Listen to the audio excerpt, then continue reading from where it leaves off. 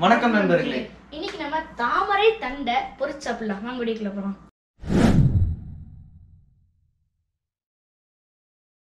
இங்க பாருங்க இதுதான் தாமரை தண்டு நாங்கள் வாங்கிட்டு வந்திருக்கோம். இது வந்து மூன்றரை டாலர் அதாவது இரநூறுபா கிட்ட இருக்கு. பாருங்க இவ்வளோ சூப்பராக இருக்கு. பெருசாக இருக்கு பாருங்க. இப்போ நம்ம இது முத தோலை உரிச்சுக்கலாம். நல்லா பீலர் பயன்படுத்துகிறேன் ஃபுல்லாக பீல் பண்ணிடலாம். பார்த்தாலே தெரியும். இங்கே பாருங்கள் ஃபுல்லாக ஃபைபர் நிறையா இருக்குது இந்த இதில். நார் நாராக வருது. இது மலச்சிக்கல்லே வராது. இது சாப்பிட்றது ரொம்ப நல்லது. பிளட் ப்ரெஷர்லாம் நல்லாவே கண்ட்ரோல் ஆகும்.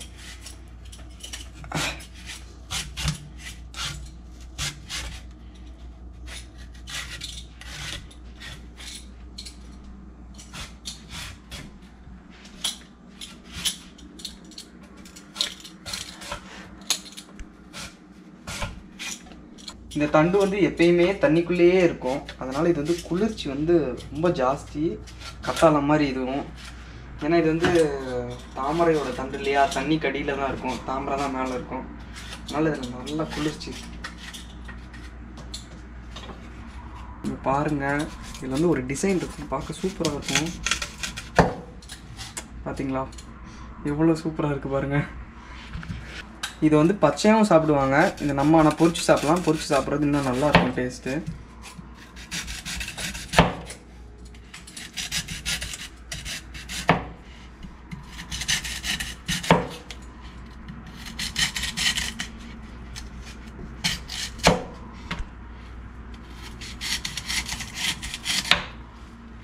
பாருங்க. வந்துருங்க பாரு. அச்சு முருகமா இருக்கலாம் ஆமா அப்படியே இருக்கு. சரி இப்போ இதை நம்ம குக்கரில் போட்டு ஒரு ரெண்டு விசிலுக்கு வேக வச்சு எடுத்துக்கலாம்.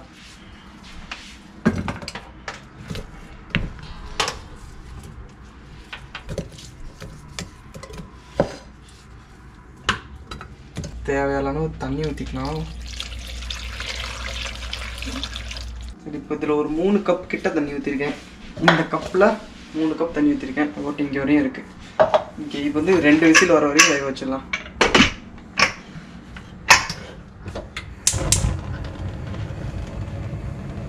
ஆல்ரைட் அந்த விசில் வந்ததுக்கப்புறம் பார்க்கலாம். சரிங்க இப்போ வந்து ரெண்டு விசில் வந்துருச்சு. இப்போ நம்ம இதை எடுத்து வச்சிடலாம். இப்போ வந்து தேவையான வதக்கிற ப்ராசஸ் ஆரம்பிச்சிடலாம். ஓகேவா ஒரு சட்டி வச்சுக்கலாம்.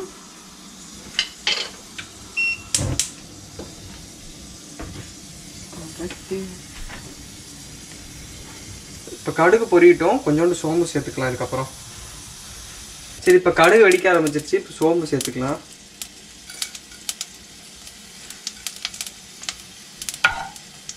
இப்போ பச்சை மிளகா ஒரு மிளகா நறுக்கி வச்சுருக்கேன். அது போட்டுடலாம். கருவேப்பிலையும் போட்டுடலாம்.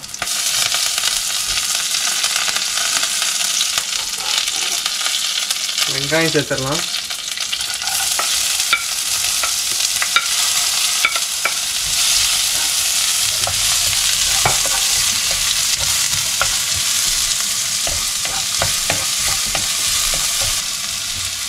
இப்போ உப்பு கொஞ்சோண்டு சேர்த்துக்கலாம்.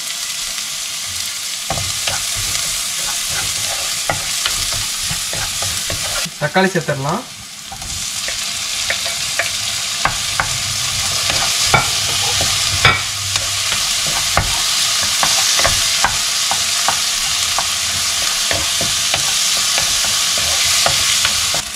சரி இப்போ தக்காளி வதங்கிடுச்சு இஞ்சி பூண்டு பேஸ்ட்டு சேர்த்துக்கலாம்.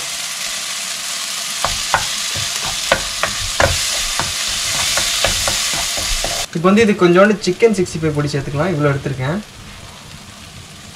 இதுதான் காரத்துக்கு மெயினு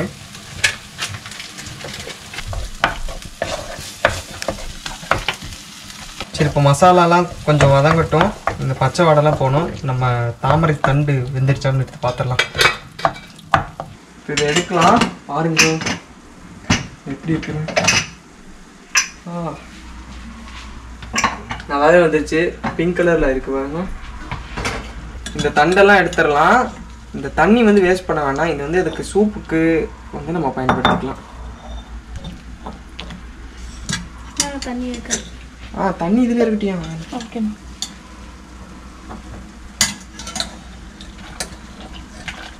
நல்லா வந்துருச்சு. பிங்க் கலர்ல இருக்கு.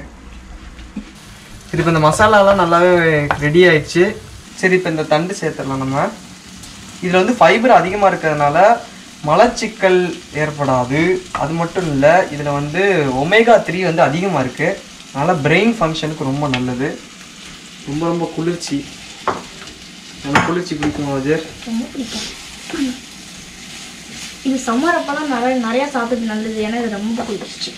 தண்ணி கடியிலே இருக்குமா? அதனால குளிர்ச்சி. கிழங்கு பார்க்க கொஞ்சம் குட்டியாக தான் இருந்துச்சு. எதிர்பார்த்ததை விட வெட்டும் போது அளவு ரொம்ப ஜாஸ்தி வந்துருச்சு. இப்போ இப்போ தண்டுக்கு நம்ம உப்பு சேர்க்கல. அதுக்கு இப்போ கொஞ்சோண்டு உப்பு சேர்த்துடலாம்.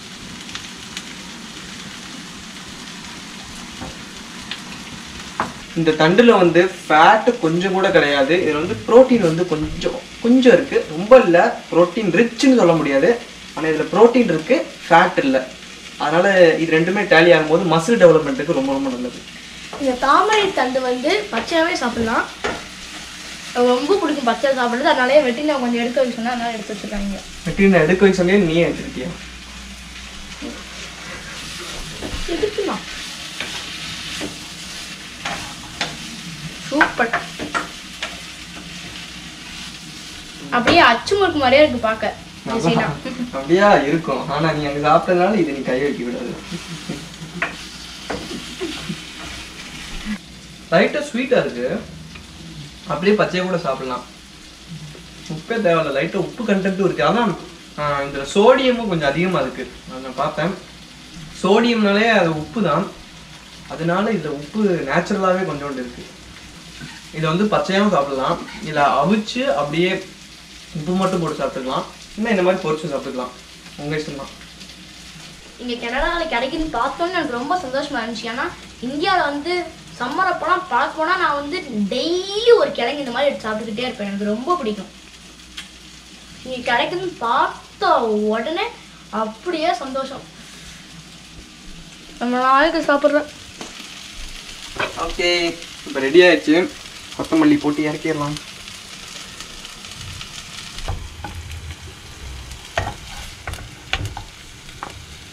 பாருங்க சூப்பராக இருக்கு. கொதிக்க கொதிக்க கடி